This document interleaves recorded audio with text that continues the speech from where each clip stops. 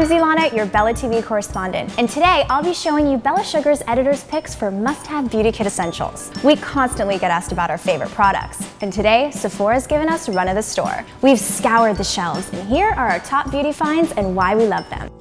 This buffing brush makes things easier because it comes pre-filled with powder. I love that it's a limited edition mini, so it's great for touch-ups on the go. All you have to do is twist and apply. You can refill it with any Bare Minerals powder. And I love that it comes with a detachable head for easy cleaning.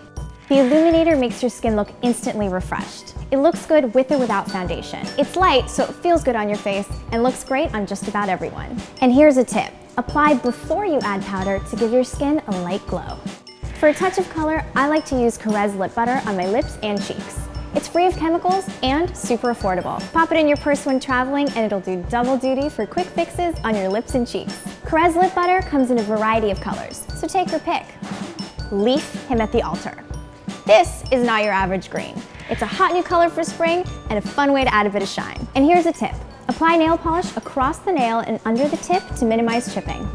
If you want va va voom volume, this thickening cream delivers on its promise without going overboard. I like to apply it to wet hair, just beyond the roots and work it through evenly. Unlike a mousse, this is a weightless cream that volumizes hair but doesn't leave you with that sticky residue.